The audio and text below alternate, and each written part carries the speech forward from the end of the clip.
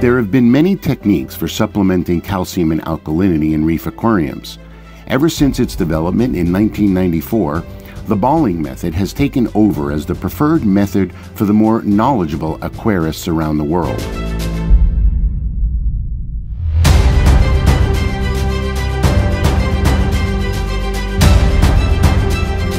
I developed the Balling method in the mid 90s as a more effective way to supply the calcium and alkalinity that the corals need for growth.